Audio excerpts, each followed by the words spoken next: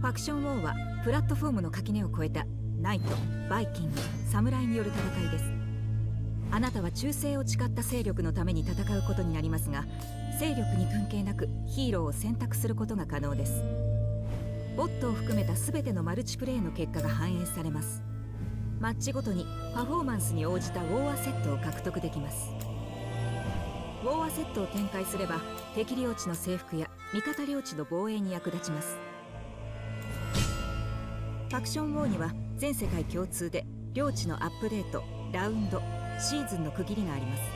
領地のアップデートは6時間ごと。ラウンドは2週間ごと。シーズンは10週間ごとです。領地のアップデートでは最も多くのウォーアセットを展開した勢力が支配者となります。ワールドマップの勢力図が塗り替えられ前線の位置が変化しプレイするマップが決定します。